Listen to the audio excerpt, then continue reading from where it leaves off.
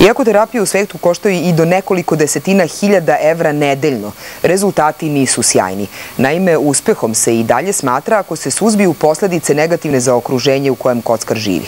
Kod nas, osim u zavodima za odvikavanje od poroka, patološki kockari pomoć traže i u Novosadskom centru Inspiracija. Ovaj centar vodi bivši kockar. Posle prvog velikog novca koji izgubi, kockar počinje sa igrom samo da vratim svoje. On ulaže, kažu izlečeni, uvek više od onoga što može da dobije. Ulaže novac, ali i deo sebe, porodicu, prijatelje, slobodno vreme. Postoje kategorije sa kojima ne radimo, to su ljudi koji su imali veze i sa kriminalom ili gde e, kocka nije primarni jedini problem, nego postoji problem e, recimo narkomani, alkoholizma ili ukoliko jednostavno kockar kaže ne, ja ne želim, ako ne želi onda je to njegov izbor. Ipak, kod više od 70% zavisnika kockanje je praćeno nekim kriminalnim delom.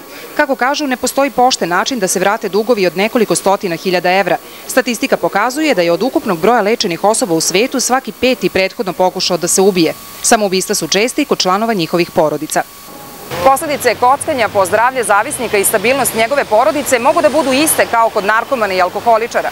Ali dok je reklamiranje i konzumiranje alkohola precizirano zakonom, kupovina i prodaja droge kažnjivi, kockanje je dostupno skoro svima. Naime, u Srbiji sreću možete da oprobate na 4.500 registrovanih mesta, što znači da jedna kladionica dolazi na nešto više od 1.500 građana. Za dnevnik RTS-a Nada Vasiljević.